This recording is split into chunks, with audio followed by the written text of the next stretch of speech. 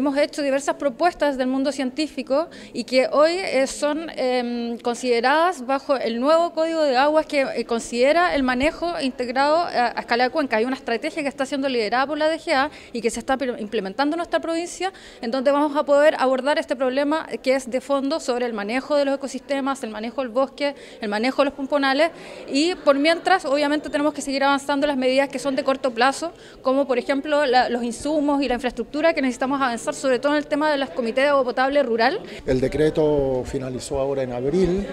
pero persisten con la emergencia agrícola y por lo tanto eso es algo que se está dando en esta región, pero estuvimos el mes pasado en Aysén y Aysén está con crisis hídrica y con emergencia agrícola.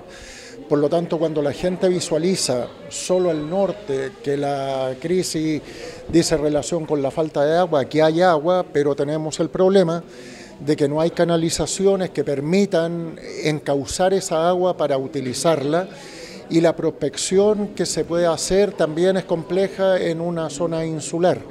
Y por tanto la labor nuestra es hacer conciencia, al igual como lo está haciendo el gobernador o gobernadora y la, la delegada presidencial aquí,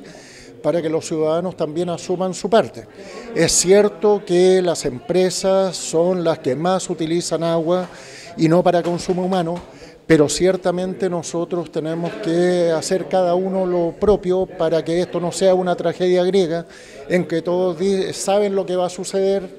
todos dicen que no quiera que ocurra, pero cada uno no hace lo necesario para que acontezca. Por lo tanto, para nosotros es súper importante estar aquí, reunirnos con nuestros colegas de las 10 comunas de, de Chiloé y estar con las autoridades nacionales y regionales para poder abordar en conjunto esta problemática.